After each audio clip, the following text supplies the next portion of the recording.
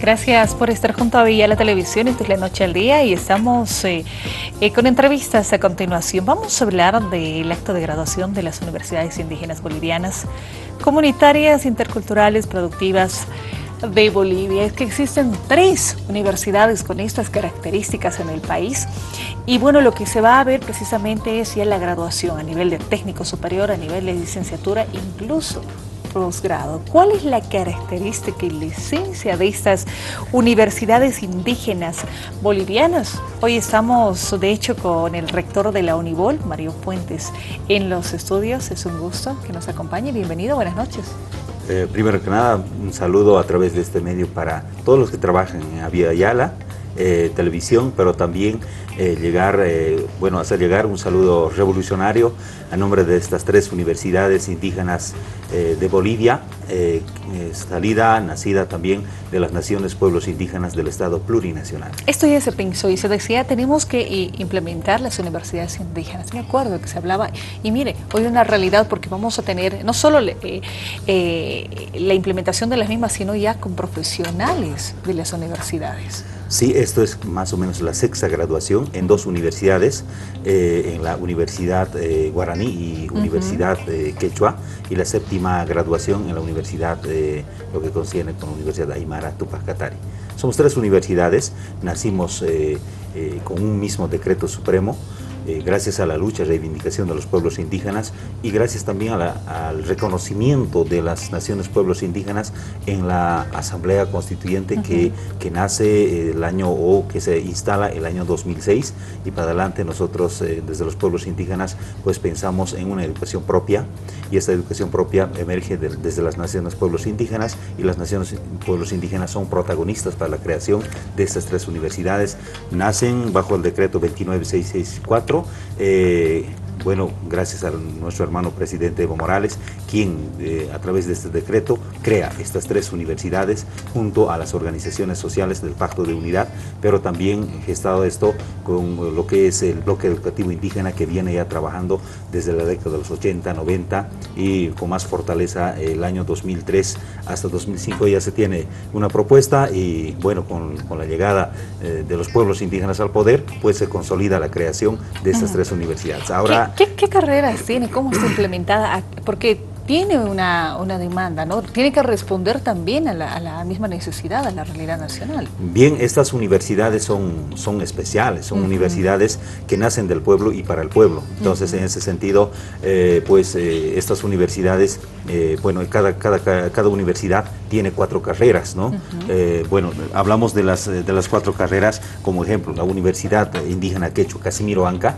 estamos ubicados, nosotros, yo soy rector de esta Casa Superior de Estudios en Chimoré, tenemos ingeniería en agronomía, ingeniería en forestal, ingeniería en industria de alimentos, ingeniería en acuicultura, una carrera nueva referente a todo lo que claro, vive en, bajo el agua. En, ¿no? la, en la, zona además. Eh, de, también del contexto ¿no? y uh -huh. la potencialidad y la demanda que se tiene desde los pueblos indígenas.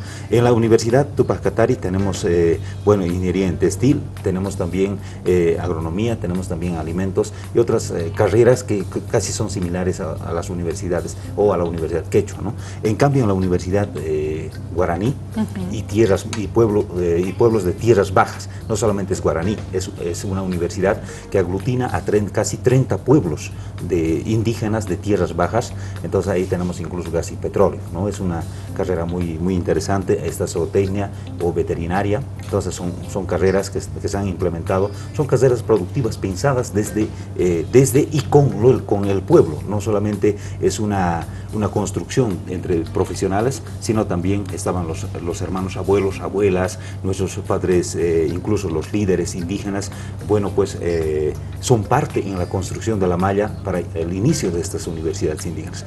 Habrá, bueno, pues tenemos los frutos, eh, ya indicaba que estamos nosotros casi en la sexta graduación de las universidades, séptima graduación sería de una de las universidades que sería en este caso la Guaraní. Entonces, estamos en este proceso. ¿no? Está en la sexta y séptima graduación. ¿Y cómo está eh, el, el, tema de la, de, del trabajo ¿no? de, para, para los profesionales, los que salen de la universidad? de las universidades indígenas. ¿Cuál es su ámbito laboral? ¿Dónde se están encontrando? ¿Existe? ¿Responde a eso que me dicen necesitamos universidades del pueblo y para el pueblo? Correcto. A ver, estas universidades, eh, como indicaba, que son de bueno, son de régimen eh, especial, especial. y también régimen internado. de, todas las, en las tres universidades, los jóvenes que vienen eh, son de pueblos indígenas, de, comunidades indígenas, quienes eh, viven en estas universidades, estudian, se alimentan también en la misma universidad. Están en la universidad, internados. Internados. Entonces, estos jóvenes, después de profesionalizarse, tienen que volver a sus comunidades, porque vienen con, con un auspicio de su pueblo indígena originario. Es son universidades pensadas para jóvenes de escasos recursos económicos, de jóvenes quienes no han podido ingresar y no pueden ingresar a universidades estatales, autónomas, diríamos. Entonces, más bien, estos jóvenes vienen desde sus comunidades con su identidad, eh, principalmente cinco ejes principales, ¿no? Tierra y territorio, es la defensa propia de los pueblos, de, la tierra y territorio de los pueblos. Ahí está la cosmovisión, la lengua, historia propia, la organización propia. Entonces, son las características. son también de carácter de descolonizador. Entonces estos jóvenes tienen que apoyar a lo que tenemos como país, como gobierno también, lo que es la Agenda 2025. Los que van a implementar son estos jóvenes, son los profesionales que van a volver a sus comunidades, porque no, no, no, no formamos profesionales para el mercado capitalista, donde uno sale y tiene que buscar el trabajo, sino ya tiene el trabajo y el trabajo está en su comunidad, de donde, de donde viene a estudiar, porque estos jóvenes son becados, becados y apoyados por el Estado, como en ningún país, porque nosotros como universidades somos parte también de una red de universidades indígenas interculturales comunitarias de la Yala, de Latinoamérica y el Caribe. Eh, somos como 10 países que estamos, pero algunos países todavía están eh, batallando en esto de ser reconocidos por el Estado, por sus ministerios de educación. En cambio aquí más bien el Estado crea al revés, ¿no? Entonces nosotros hemos sido creados por el Estado, eso es el, fundamento y la fortaleza que tiene eh, este gobierno y gracias también por el liderazgo que siempre nos está dando lineamientos para por dónde ir y aquí, eh, a ver, no solamente son necesidades, las demandas no son los, eh, necesidades, sino son potencialidades también en nuestras comunidades eh, en las cuales nosotros tenemos que apoyar a través de estos profesionales porque nos, salen con ellos salen con la misión de gestores y emprendedores productivos. Ellos tienen que generar a través de empresas comunitarias en sus regiones para poder generar empleo para mitigar también la migración que en esos tiempos se ve, ¿no? de, las, de las comunidades indígenas a las ciudades, de las ciudades fuera del país. Entonces, ¿cómo frenamos esto? Eh, tenemos que frenarlo a través de la formación profesional, formación técnica, porque en estas universidades es 60% práctica, 40% teoría. Así se marca. Miren, nos llama la atención porque me dice, eh, no estamos eh, formando, son jóvenes eh, que tienen una beca, son auspiciados por las, mismos, por las mismas comunidades y, su ámbito laboral está precisamente a retornar a, la comunidad de la que salen.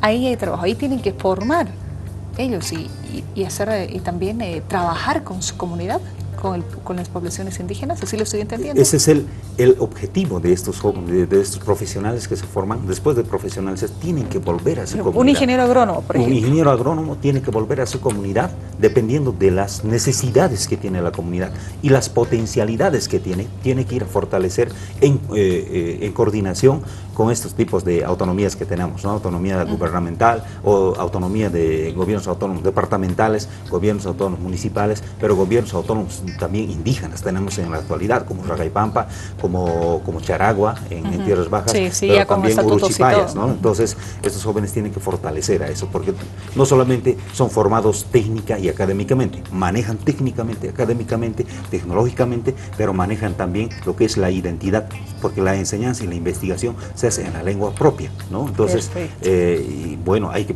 hay que fortalecer y eso es el camino, el rumbo de estas universidades, porque nacimos del pueblo, como decía, y tenemos que eh, servir a nuestras comunidades indígenas. María, una consulta más, eh, y bueno, en realidad la recomendación, porque ustedes tienen la graduación precisamente el día de mañana.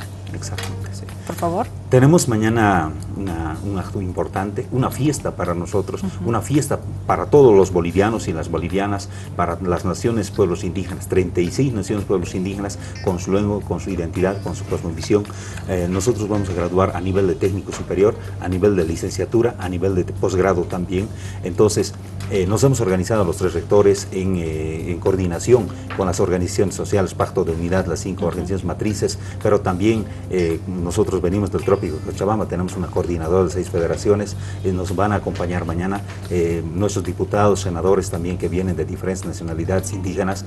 vamos a graduar 319 profesionales mañana en la Casa Grande del Pueblo. O sea, es histórico esto. 319 profesionales de las poblaciones indígenas. De los pueblos indígenas, de las tres universidades. por ejemplo, la Universidad Indígena Quechua Casimiro Anca, solo falta Pando.